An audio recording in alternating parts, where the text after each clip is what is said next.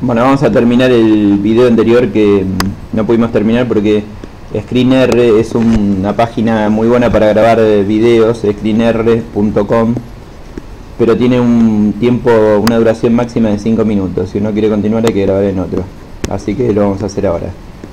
Bueno, yo acá puedo mover el, el triángulo de la manera que quiero y la unión de estos tres puntos, el circuncentro, el baricentro y el ortocentro sería el la recta de Euler. Entonces vamos a seleccionar los tres. 1, 2, 3. Vamos a poner construir. Perdón. Construir. No entiendes por qué tenía más seleccionado. Siempre me pasa lo mismo. Vamos a seleccionar los tres. Construir rectas. Ahora sí para, distinguirla bien le voy a no solo cambiar el color, vamos a poner un azul oscuro, sino que lo vamos a hacer bien gruesa. Siempre con botón derecho. Bueno, acá lo tenemos construido.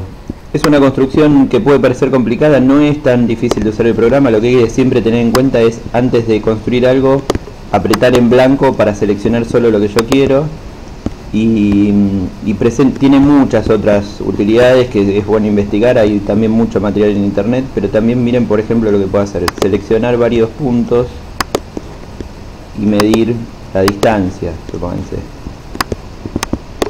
De C a B 963, puedo seleccionar otros puntos y medir, a ver esperen,